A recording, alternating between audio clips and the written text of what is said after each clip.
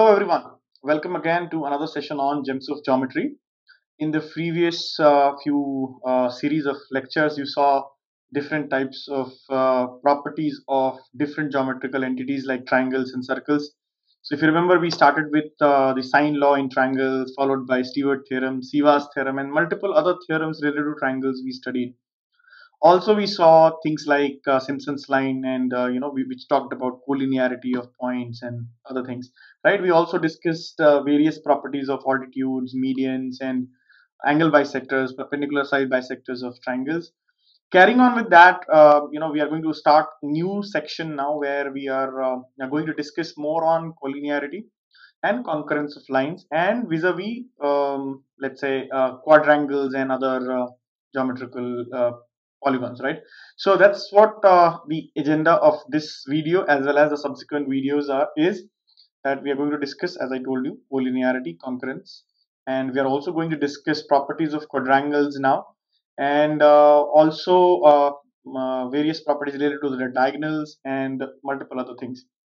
We'll start with a small introduction on some you know uh, some definitions and some nomenclature has to be understood before we actually jump on to studying all those theorems. Because all those theorems will require some kind of a proof and those proofs will require some kind of prerequisite understanding of some definitions and uh, some notations. So that's what uh, the objective of this session is. So today we are just going to discuss and this session particularly only about uh, the various types of quadrangles how do we define them uh, what are uh, different types and you know uh, how do we classify them and then what is meant by area of a polygon. So as if if you remember your any polygon n-sided polygon in a in geometry uh, we have what n vertices and with n vertices there are n sides as well right? So any n poly n-sided polygon which is called n-gon. So we have learned that n-gon is nothing but a polygon with n sides and whenever there are n sides there are n vertices. And uh, so hence n n-gon is a polygon closed figure with n vertices and n sides and we have studied about triangles we have studied about quadrilaterals we have been calling these as quadrilaterals but in case of triangles we call them triangle. We don't call them trilateral in common day-to-day -day things why are quadrilaterals called quadrilaterals? So we actually should use the word quadrangles in quadrilaterals for quadrilaterals as well. Because later on when you take up a course on projective geometry, you'll come to know that there we don't talk about uh, laterals, we don't we just talk about lines. And hence wherever the lines are intersecting, they form an angle and hence wherever we get four angles in a closed figure, we call it quadrangle, isn't it? So um, that's what uh, is the you know understanding is so we'll be calling them quadrangle and not quadrilateral for this session at times because my because of my own let's say um, you know uh, the way we have been taught during our school days and all that so we have been calling it quadrilateral that's there's no wrong or nothing is wrong about it but yes uh, calling it quadrangle would be more appropriate so that's what we are going to do and we'll start with understanding of basic quadrangles and their varieties so let me, uh, in, you know, introduce you to different types of uh, quadrangles which you have already seen. So let me just uh, turn these uh, axes off. We don't require them. So let me switch it off. Okay. Now let's talk about a polygon, and especially we are going to talk about quadrangles, right? So here is a quadrangle. So if you see, uh, I have drawn a. Um, sorry, let me just redo it. Okay. So here is I'm going to do a draw a polygon this is the polygon and yes so abcd is a uh, polygon and uh, you have you know this that uh, all the angles here if you see are less than what? Less than 90 degree uh, less than 180 degrees all of them if you see. None of them are reflex. At max they can be obtuse but none of them are reflex. And this is called a convex polygon right? So what is this called? This is called a convex polygon. You already know this. Convex in this case quadrangle. Quadrangle fair enough right this is what we have learned and uh, one more thing if you notice if I just turn these off and let me just you know um, join the diagonals so if I join the diagonal with segment AC so AC is a diagonal BD is also a diagonal. And what do we observe? Both the diagonals are within the polygon, isn't it? So hence if you see, or the quadrilateral, both, both diagonals, I'm writing both diagonals are within, are within the quadrilateral, isn't it? So let me write only quadrilateral or quadrangle, right? Now this is one variety. Another variety could be if I just again switch it off and show you another polygon. So let me draw another polygon. So here is the polygon and uh, let me draw it here. So point this and uh, let's say this one EF and let's say G and H and again back to E. So what difference do you see guys? So if you see, let me just pick it up. Yeah, wait, yeah. So if you notice, what is what is the difference between these two? So one angle here clearly is, oh, sorry, these angles have been mis, you know, displaced from their positions. Never mind. So this is the uh, another variety of quadrangle, and here this angle H angle h it is reflex angle right? It's greater than 180 degrees within the polygon or within the quadrangle. The angle is greater than 180 degrees. This type of quadrangle is called re-entrant re-entrant quadrangle. Okay quadrangle and what is the observation here if I turn this off and join the let's say join your uh, diagonals. So if you see out of the two diagonals, one is within the quadrilateral, not quadrangle, right? So one, one diagonal, one diagonal is out, is outside, is outside or not contained in the uh, in the quadrangle, outside the outside the quadrangle, right?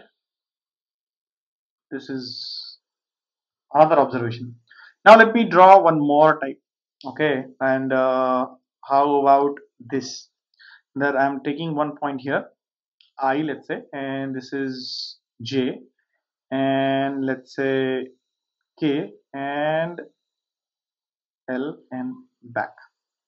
Can you see this is another type of kind of twisted you know you have just taken a quadrangle and given it a twist around one of the diagonals like that and it is appearing to be like that isn't it? So this is called if you see this one is called crossed quadrangle.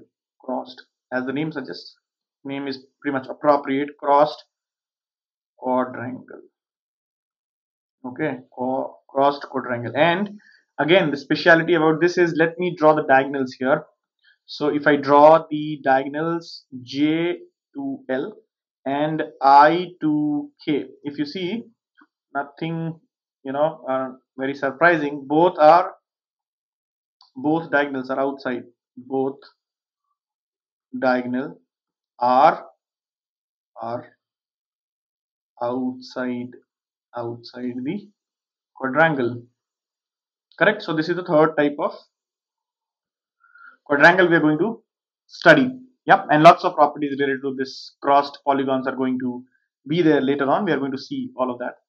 Now, another point I would like to make here is related to the concept of area of a polygon. Okay, so guys, for that matter, I have not discussed what is a vertex, what is a side and all that. You already know all of this and uh, you have learned previously what's side vertex and all that, adjacent sides, opposite sides. So I have not covered those things here. You know it already i'm assuming.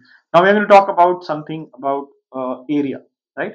So here there are two things which we need to understand.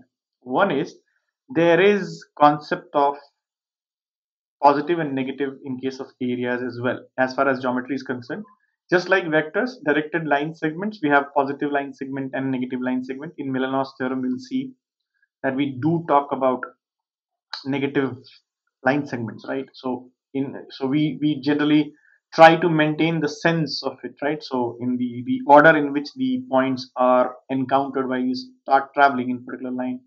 So hence we call it directed line segment. So if you go in one direction and come back these two segments are negative or opposite in sign okay so similarly in areas also we say that if we are tracing the points in anti-clockwise so as i told you there are two points. One now we have positive and negative areas as well.